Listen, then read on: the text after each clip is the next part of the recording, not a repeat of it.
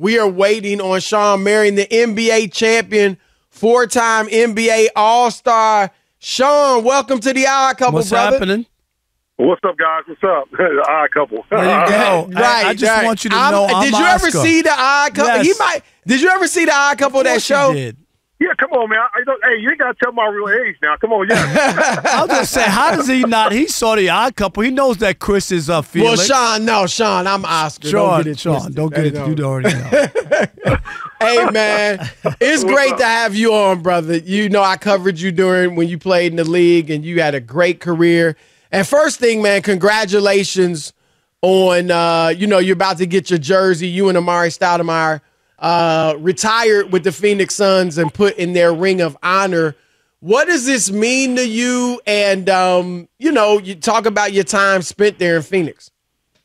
I mean, it's uh, I mean, it's a it's a blessing, man. You know, uh, it's a testament to the, the longevity and the consistency I was able to give uh, give the fans out there in the, in the Sons of Valley Valley of the Sun. And you know, um, I mean, listen, man. Like Matt, my, like Matt said, I'm gonna quote my, I'm gonna quote Matt. Matt was like long overdue. Right, Hey, that- right let- But let me ask you about the Suns. And here, here's what I'm. I'm going to be the stick in the mud. That team was so good. You guys won so many games. Is there a part of you that feel like you guys let a, a golden opportunity slide away and you, you never could get, you know, one championship with all the great players who played there? Oh man, you know, man, I wish we could have won one, man. I think uh, it, it, I, the times I felt like we could have won. Um, I mean, we just fell that that that close and that short.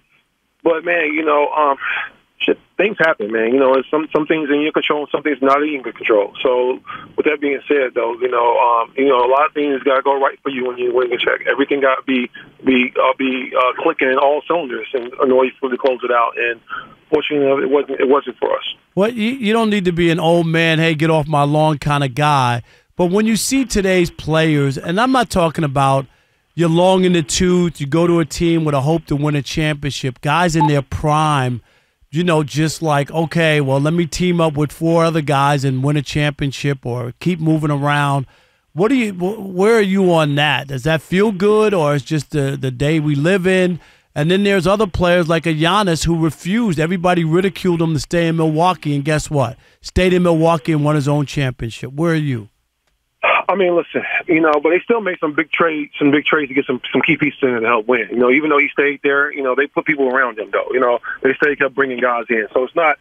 Uh, it's not like they had a homegrown team from from day one. He was there from day one, but a lot of the guys they brought in throughout his tenure, you know, what I'm saying to add to him. You know, which is which is great. You know, what I'm saying they made that big trade for Jrue, Jrue Holiday right before trade line, and that was a big trade for them. You know, what I'm saying, and they added PJ Tucker too as well. But So- I know, but everybody wanted him to go to Miami. You remember when, when Milwaukee got swept? He could have gone Yeah. to Miami, and he refused to do it, and they, they said he was dumb.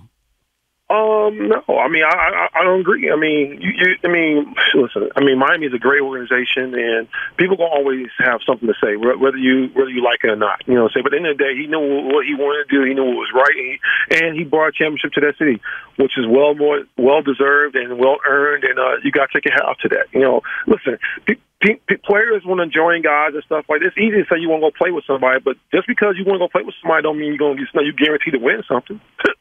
Well, you you know that as well as anybody because you were you did win a championship, even though y'all fell short in Phoenix. You were on that Dallas team. Dirk Nowitzki about to go into the Hall of Fame, and you were on that team with him that beat the big three in their first year together: LeBron, right. D Wade, and Chris Bosh. Uh, let me ask you this, because a big storyline in that was that LeBron just fell apart. You know, Melted. for over the second half of that series. Obviously, your guys' defense had a lot to do with it. You were throwing different looks. Rick Carlisle did a good job. You guys were throwing a lot of different looks at him. But were you, what was going through your mind? You could clearly see he wasn't the same. And and yeah, you know you're playing good defense, but you also see this guy's not he ain't playing this game. Like what's going on? Like what was going through your mind? Well, well, well, well, Chris, you just answered your own question though. Like you just sit there and said we threw different deep defenses out there to change up the dynamic of the game and the situation that the teams that we were playing and the matchups with the guys. That's it. That, you just answered your question.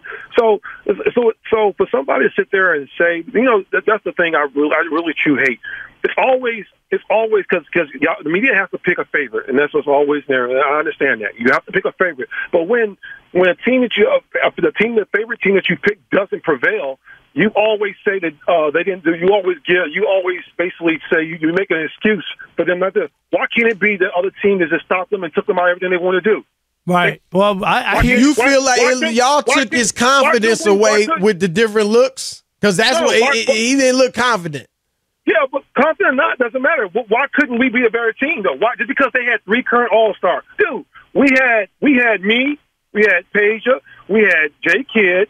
Uh, Dirk was already he was a current All Star that year, but then we had uh, who else? Caron was on there, but I mean Jason Terry, still, he, was an All Star. Right, no, no, no, no. I'm just saying current. No, no, because what happens, y'all, y'all, the media creates this narrative about uh, super teams, and basically you say a super team because it's a current All Star. That's what it is, right? You have to be a current All Star basically to call it a super team. Am I right? Yeah, I mean, it, I think a lot of with you guys, it was that Jay Jay Kidd was clearly not in his prime, still a productive player. Um, so that, huh? Yeah, it does mean. I mean, it, if, if LeBron, well, LeBron's a little different story, but a guy that's past his prime, that's not going to be viewed as much of a super team as a guy that's fully in his prime. And and, and we also, and we also saw it, and, and so when the Pistons. This is why I said current. Or this is why I said current. Also, this is this is this this is the narrative, quote unquote, the media is creating the stipulations. Y'all, y'all, the media, big lines for super teams. So, with that being said, though, regardless of not, even though Dirk was the only current All Star of the of that of the team that at that time, we got All Star pedigree guys. We know we got guys that knew how to compete and level up, and we bought into the dynamic of a team concept, and we knew uh, everybody was at the man or, or, or at one point uh, somebody on their team for most of the majority of our team. So a lot of us we knew what we wanted to do, we knew what was capable of doing. We went out there and we we bought into it and we respected each other and that that was the thing though. Like but people forget sometimes. I think you get caught up into this current stigma. A lot of times when you're talking about teams and the dynamic and this and that, well, just because a guy is not a current all star doesn't mean he's not doesn't have all star pedigree in him. So he can be called upon and do certain things in, in certain situations. Uh, in certain, he can have a, he can always have a, a game of twenty five or thirty points, or come, or average thirty points in the series because he's been an all star before. So if you show he's shown you he can do it before, just because he's not having to do it on a regular basis on a team he's currently on, don't mean he can't do it. And so that's it, the thing that people don't understand about the game itself. There's so many things. There's so many levels to this this this this game. It's not, and I understand y'all doing it from a y'all talking about the game from a visual standpoint, but it's you go that, that players as with us players go through in locker rooms that we feel that we know that all we gotta do is go out there and take care and do what we gotta do. We go, it's gonna make, it's gonna happen for us. And it's a, so, or we have an or and stuff that a lot of teams don't. I mean, some teams you have it when they when they when they when they do, they know they sense it.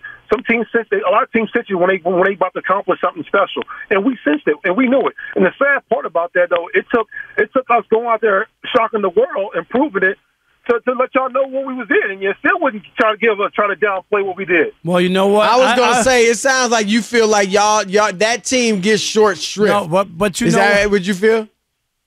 Oh, like y'all don't get the credit y'all deserve. Look, look, at the look what you just said though. You come in talking about um, the big three this, big three that. Man, look look at the team we had. We had some hell of players on our team. Well, I know.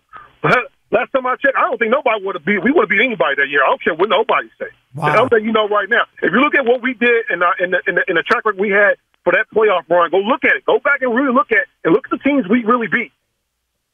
No, I got you. It, you know what? Yeah, it, go, back. It, look at those, go look at those rosters. It, at those this, it, it happens all the time. The 2004 Pistons beat the Lakers, and it was like Shaq and Kobe were beefing. Not that the Pistons beat them in five games. It could have been a what we call a five game sweep. But I get your point. Last thing from me, Dirk Nowitzki, Chris mentioned going into the Hall of Fame.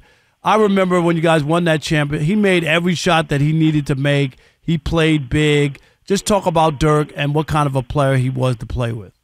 Oh man, Dirk was amazing, man. You know, um, we we had some great battles.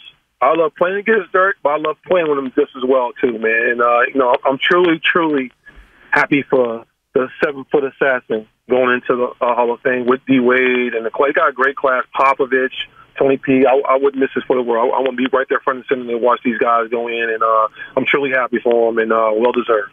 Last thing, Shawn, before you go, your Phoenix teams were regarded as you know changing the game. Um, and you, you one of the first person to said that. A lot of people don't give us credit for that. Yeah, oh, I yeah, tell, no, I tell, I I- tell, I tell, I tell everybody, if you know anything about basketball, if I, if we started in Phoenix, it started small ball era, started. Yep, no doubt, You know no anything doubt. about basketball? Well, that's what like when you see today's game, are you just like, man, this is what we were doing? And Like you said, y'all did start it. There's no doubt about that. Yeah.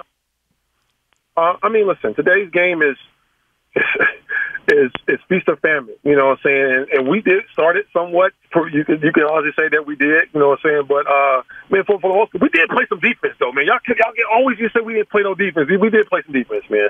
And but it's okay. Y'all but, put a little, a little. Yeah. it, it, it was mixed in very, very little. It didn't, it didn't help the. Man. To get Hey, a championship. You talking about but- man? I always play defense. I don't know what All you right, talking there you go. You did. Where's everybody You else? were a defender. Yeah, all you were a defender. We, Hey, we Shawn, we that. appreciate you. Shawn, man, great stuff, brother. We appreciate the passion. yes. Anytime you want to come on, man, we love to have you. And again, congratulations on uh, getting your jersey retired in Phoenix. No doubt, man. I appreciate it, man. You know, I think the Suns, the, the, the Phoenix family, been waiting for this for quite some time now. So it's finally coming, coming to just, and uh, it's going to be pretty awesome, man. All right, brother. Peace, man. Thank you. Thank you, thank you, guys. Yep.